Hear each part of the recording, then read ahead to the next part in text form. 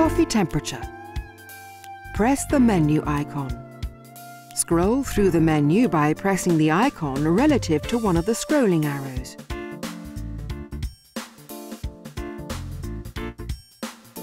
Press the OK icon to select the function. Press the icon relative to one of the scrolling arrows to select the required temperature, then press OK again to confirm.